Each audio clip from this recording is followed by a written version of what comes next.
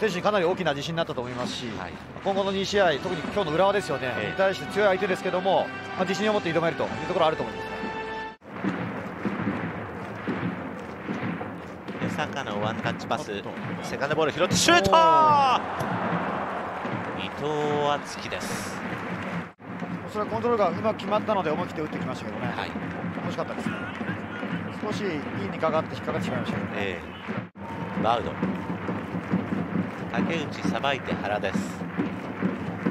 間で受けました。鈴木唯人。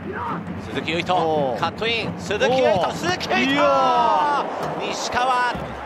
左手一本ビッグセーブ出ました。ね。彼のここのエリアでボール持って前向いた時のこのドリブルスピードですよね、はい。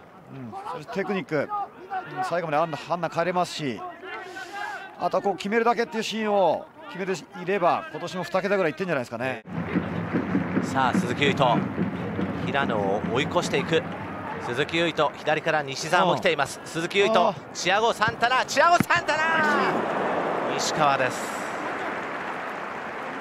もう少し気をつけて出したかったところだと思いますけども、はい、最後少しプレッシャーかかった状況でのシュートになってしまいましたね、えー、これ岩政さん例えばチア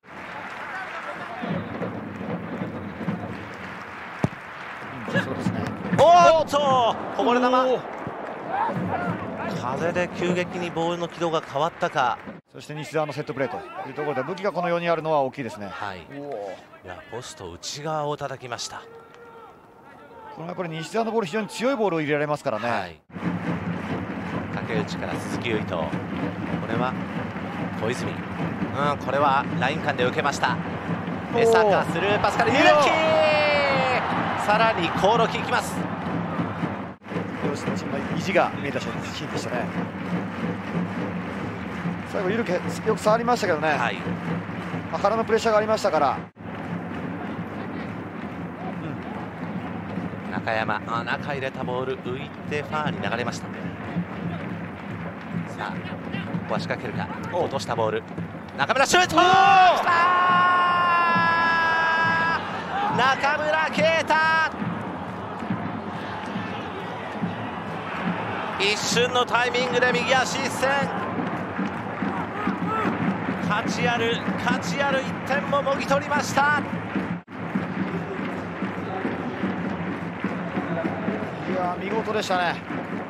少しここでフリーになって受けて、後ろからプレッシャーありましたので早めに打とうということで打ちましたけどもいやいいコース飛ばしましたね。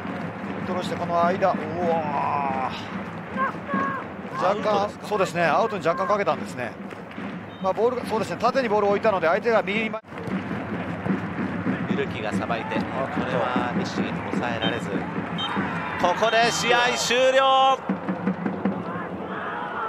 J1 残留を大きく手繰り寄せる貴重な一勝サイスタで掴みましたอย่าลืมไลค์และ Subscribe นะครับ Like, subscribe, push notification Like, subscribe, push notification